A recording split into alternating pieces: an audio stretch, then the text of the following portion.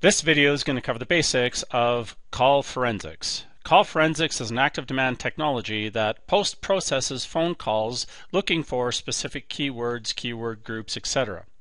This is used in lead scoring, lead routing, or even post-sales analysis or sales call analysis, trying to help you understand what is going on during the conversation inside a call. Call forensics is managed in the call tracking section of Active Demand. To get to the call tracking section in Active Demand, you go to Assets, Call Tracking Numbers, click on the Call Forensics tab. Your call forensics strategy is based upon the specific set of keywords you're looking to identify inside a conversation.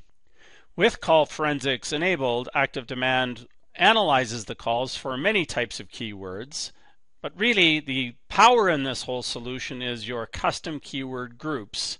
And for example, as I've set up here, I have a couple of keyword categories. Let's say we've just released a new product called Process Complete.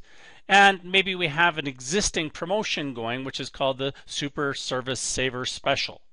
So really what I'm trying to do is understand which of the sales calls that are ongoing are either talking about the new product launch, which is called Process Complete, or I may as well be looking at the performance of our ongoing Super Service Saver Special.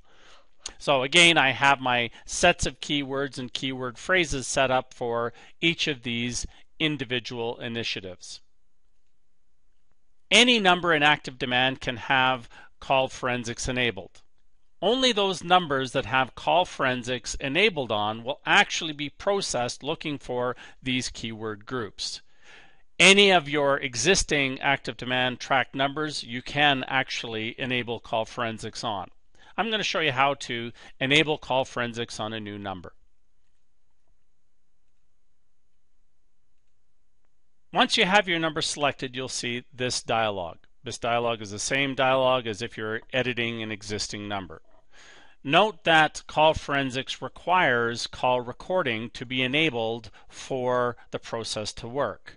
There is a charge for call recording as well as there's a charge for call forensics to be enabled. So be aware there is a cost ramification to using call forensics.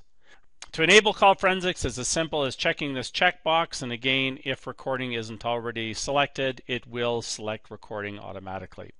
Now that you have a number that has call forensics enabled, Active Demand will be post-processing all calls for that specific number, whether it's inbound calls or outbound calls.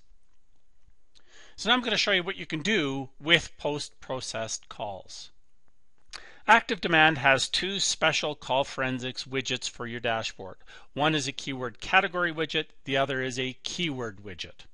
With each of these widgets, you specify which keywords you're looking for, or which keyword phrases rather, or if in the case of the keyword category widget, which categories you're looking for in the widget.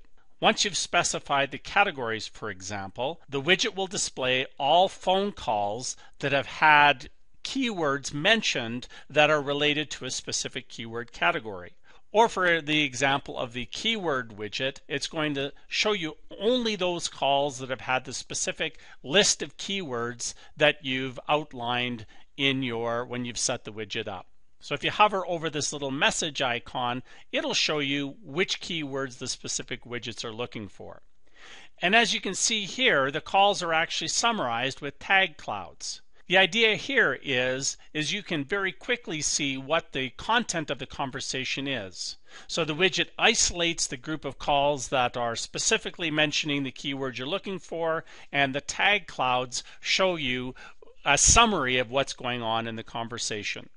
So it's very easy to get a quick understanding of what's going on in your conversations and go listen to the recordings or click here to go look at the specific user who had this specific call. So now I'm going to show you how to use the call forensics data in a custom workflow. The custom workflow you're looking at here is the call notifications workflow. This workflow is called anytime a track number is connected. What we're going to do here is we're going to wait for the call forensics post processing to complete. We're going to add a wait for change and we're going to look specifically for the transcript being processed by active demand. So once the transcript exists, we know that the number has call forensics data, therefore we're going to process that data. If it's a case that it doesn't have call forensics data, the workflow is going to fall through and of course send a email notification to sales. If the call does have call forensics data, we're going to look for specific keyword phrases in the conversation. And specifically, we're going to look for conversations involving a keyword category. And we just typed a keyword category right in this line here. So if the call did talk about our, for example, our new product, we could actually increase the lead score before sending it off to sales.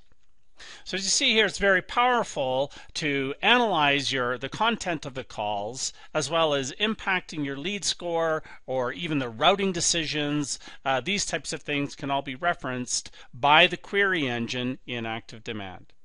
So you've seen here, very basically, call forensics, very easy to use, very easy to set up, and it is well very powerful.